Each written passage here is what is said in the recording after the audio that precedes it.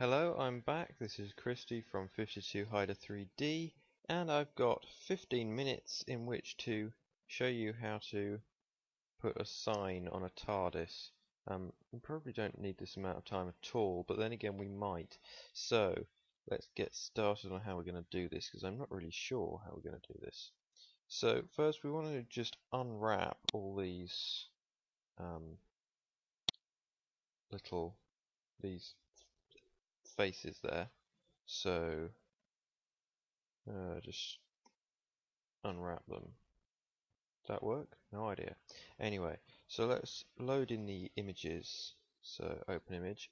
I'll put these up on my Facebook page. So we've got police box label. Okay. Let's unwrap those again. Is all the uh, Scaling okay? Okay. Mm. Um, okay. So let's unwrap project from view. Can we do this? Project from view. No, that doesn't seem to work. Project from view bounds. That works better. And then this one, unwrap project from view bounds. Unwrap project from view bounds. We done that one? No, I think that's all of them now. So, uh, I haven't done that one.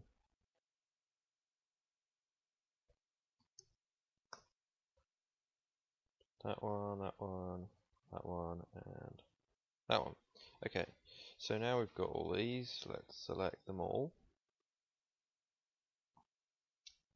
And work out what on earth we're supposed to be doing here. Let's go into the node editor, because that's where we're going to have to be doing most of the stuff. And right. Might be best if we give this these sections a new material, just to keep everything simple. Select TARDIS blue from the list, and then press what do you press? Um, that's weird. Clear out that and just make a new material. Call it blue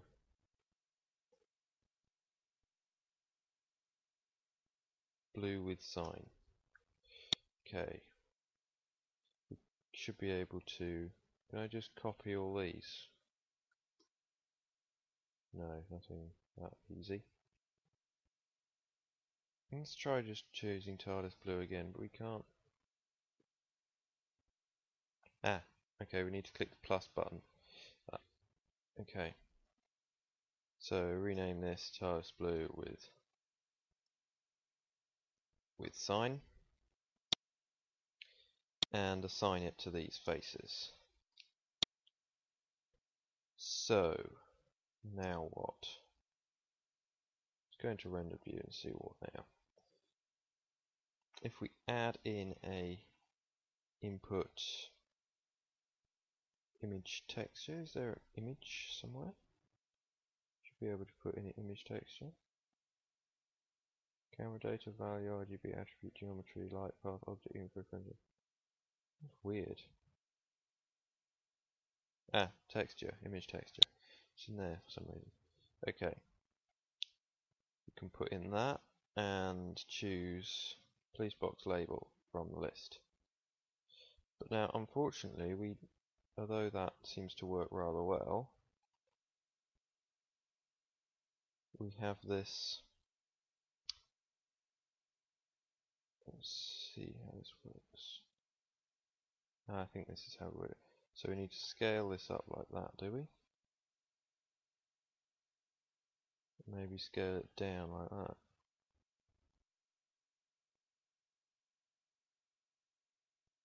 No, I think I've overdone it a bit. um,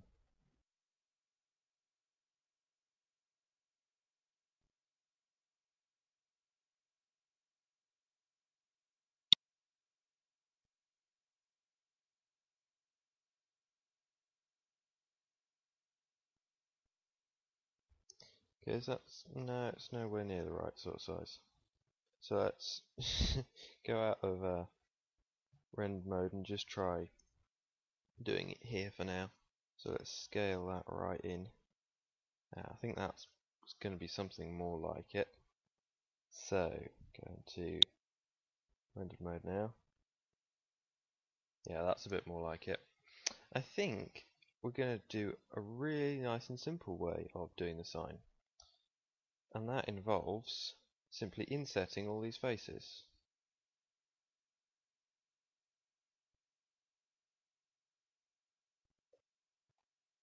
See what I've done there?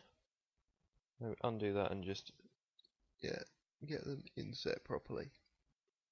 Okay, so now let's select everything, unwrap, and reset.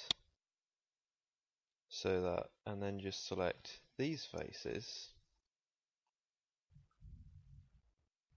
We go into material view, I think it shows us, yes it does. So, it will show us what we need to do. And that's looking pretty good. Let's see what we've got there. So, how much time have we got? Seven minutes, plenty of time. So now we just need to select all these outer bits and assign them with TARDIS blue again.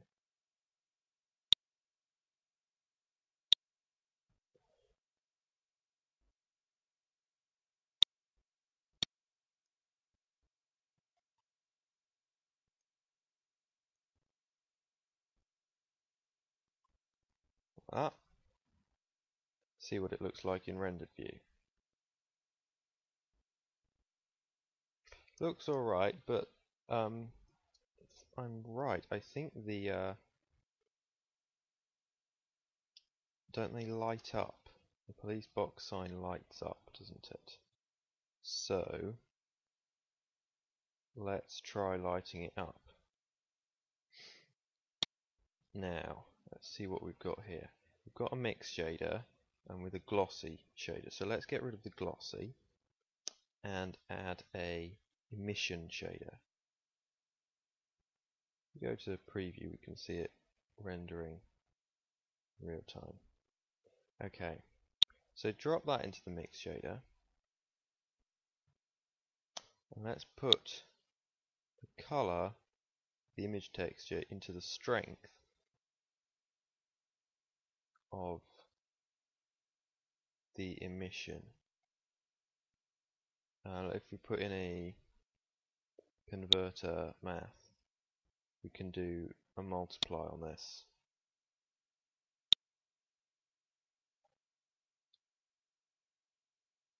Like that. And that's looking quite nice. It now emits from the police box sign. Go in rendered view, and that's looking very good indeed. Think maybe they just need a slight bit of tweaking in terms of getting them just right.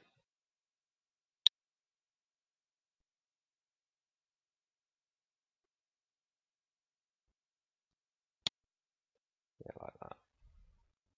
Yeah, so that's looking very good. One more thing you can do, um, of course there's the sign on the the front door uh, and we can add that in if you want. I'll just go over this very quickly. You should work be able to work out how to do it. Because it's very similar to the other one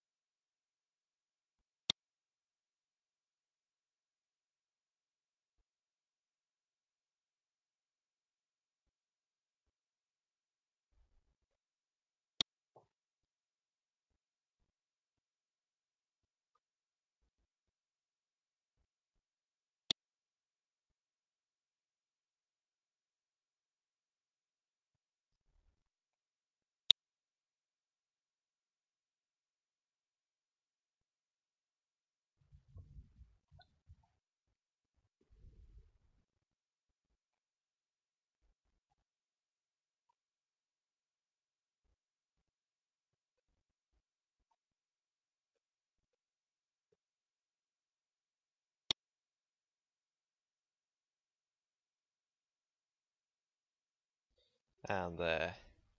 That looks pretty good. So let's just give this a render. Um, we haven't put in any background or anything, but I don't think we really need to. You can should be able to work that out for yourself. Um, so let's give this a render. Get it just in the right place first.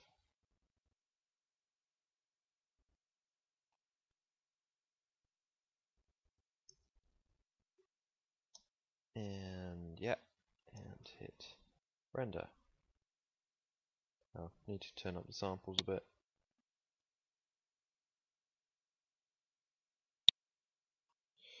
Go 50.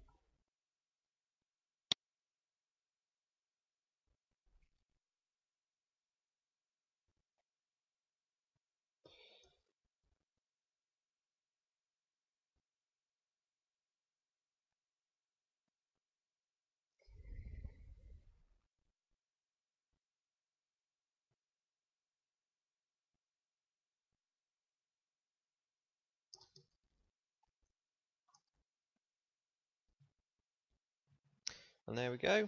That's the finished model. Looks quite nice. It doesn't look hyper realistic, but then we haven't added any textures to anything um, apart from these bits. Um, and there isn't very much detailing, but you can stick that in later. Um, this is just a starting point for you. So thanks for watching. Again, don't forget to like me on Facebook at 52hider3d subscribe to this channel, keep an eye out for other tutorials, and yeah, thanks for watching. I'll be continuing the sci-fi series soon with probably something from Star Wars, probably a TIE fighter. Uh, so I'll have to work out how to build one of those, and then probably after that something from Stargate. But I haven't thought of what I can do for that. I've got a few ideas, but uh, yeah, so Thanks for watching, until the TIE Fighter tutorial, bye!